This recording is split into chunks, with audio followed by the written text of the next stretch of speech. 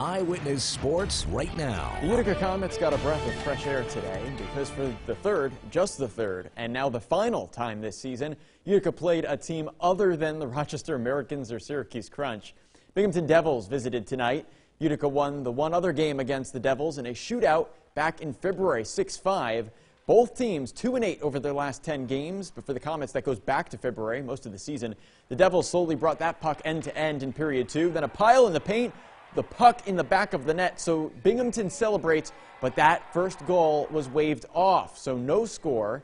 And that's because there were those players in the paint. The Devils specifically blocking Hofer. Still no score. The Devils on the attack again. And this one goes toward the net. Hofer stops it again. The whistle is blown, but the Devils are arguing. Chippy game right there. Did you see Curtis McKenzie with the elbow? Almost starting a fight. Um, it, there were so many fights already. One of them already by Tyler Tucker, who basically tackled a player at one point. And then still with no score in the end of the th uh, second period, the Comets turns around and Tanner Kaspick right there gets his first goal of the season.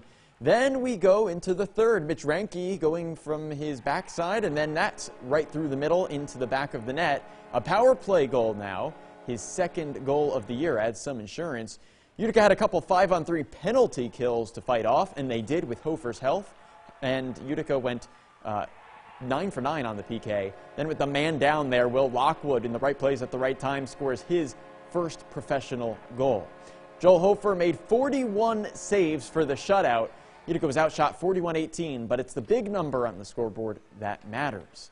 Hofer earned his second AHL win, and as much as he helped his defense, his defense helped him. Like I said, Comets went 9 for 9 on the PK, and Utica only had two-man advantages itself, scoring on one of them. So the defense was key tonight, an even strength goal, a power play goal, and a shorthanded goal. All three ways you can score, except for the uh, you know penalty shot.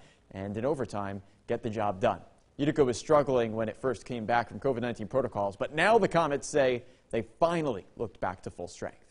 You know, we were in deep. I thought when we go to Providence, you get uh, four hours there. It's freezing cold rain. Tough for the guys to get going, you know. And, I just thought uh, thought tonight was just gutsy just a, a great effort, uh, great effort by our PK guys. Like we said about Joel, how, how strong he was, but I thought some guys really had some like probably their best games that I've seen. Yeah, I felt good today. I mean, um, you know, my tracking was well. There's lots of things that uh, you know all was good. I mean, um, like I said, I can't can't uh, ignore the team effort. We played great tonight, and um, you know, PK was great. There was we uh, you know in the first there was the four minute which was huge, and then um, you know got going on you know, from then then on. But uh, yeah, obviously, obviously felt really good, and you know, glad we got the win. Like I said, I thought it was you know probably the most complete team win we've had so far the year, and you know we got outshot a lot, but you know Hof was you know cool and collected in the net, so I think that's where um, you know he kind of led the way there,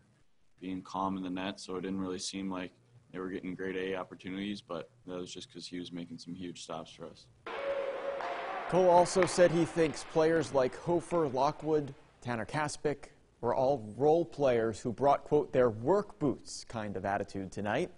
Comets are now 3 and 4 since returning from COVID 19 protocols. That's enough to keep them above 500 and right in the middle of the North Division standings by points percentage. Next plays Friday at Rochester.